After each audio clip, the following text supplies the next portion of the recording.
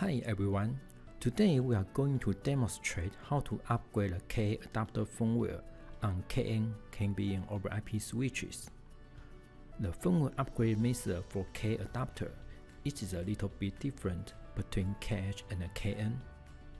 Let me show the upgrade method on KN first and find the difference. Log into the KN KVM over IP switch.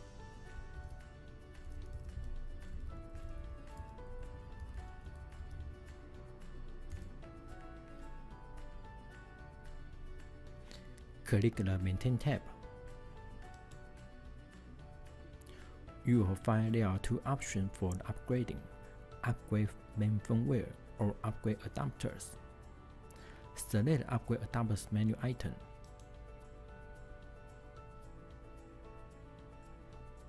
The upgrade adapter page allows you to view and upgrade KVM adapter firmware and display information. Currently, you can see there's one adapter KA7168 is connected to this KN.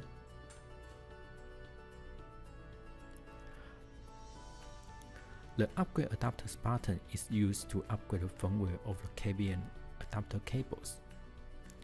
Click adapter firmware info to bring up a list of the adapter firmware versions that are stored in the main firmware which means the adapter firmware has been stored in this KN already.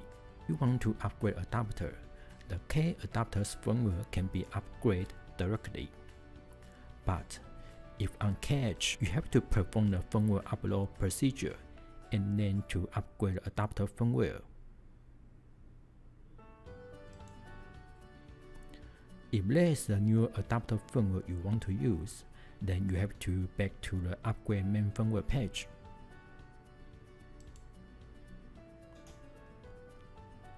Because K adapter firmwares are packaged with the main firmware. So the process upgrade K main firmware will also upload the new adapter firmwares. After upgrade the main firmware, go to upgrade adapter page.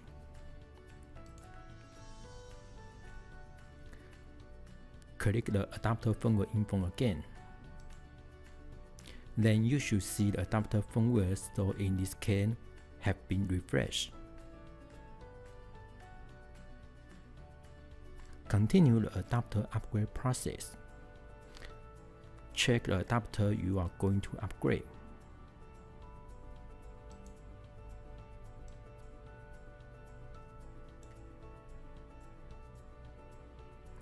Because the firmware version on this KA7168 adapter is newer than KN's firmware.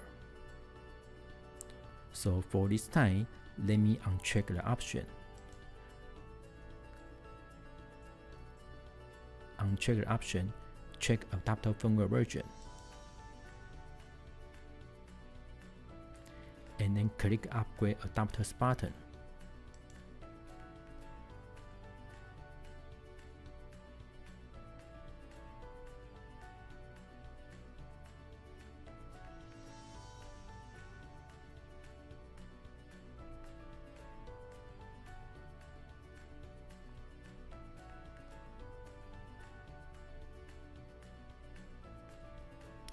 If the upgrade is success, it will show up the message upgrade succeeded.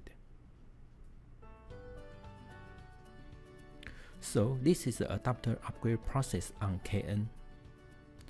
Now, do you remember the difference of upgrading K adapter firmware between KH and KN? You can upgrade adapter firmware directly on KN, but for KH, you must upload firmware first and then upgrade the adapters.